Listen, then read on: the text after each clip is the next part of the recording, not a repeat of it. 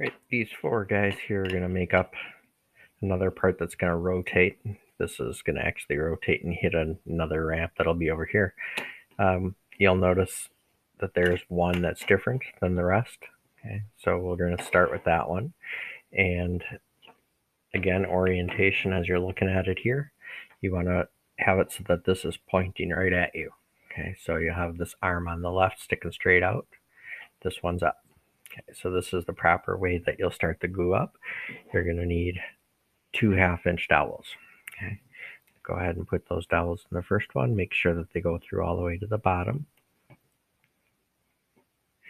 Okay, they should be flush. All right, and just like in previous videos here, we're just going to put a little bit of glue right around the dowel area. And I'm just going to dab a little bit elsewhere. Not going to put any in the arms though. And then you're just going to carefully kind of line up one of them until you can get it in. You just mess around with it a bit, push it all the way down.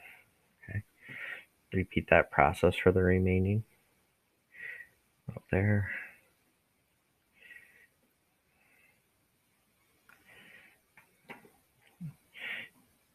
And then just being really careful here when you're pushing that you're pushing kind of by the holes and I'm wiggling it around. I shouldn't have to force it terribly to get that started. And the last one, a little there. My Q-tip's falling apart. Uh, good enough to finish this up.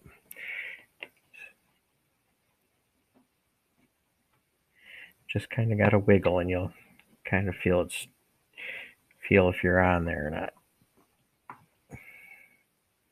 Oh. There we go. Okay.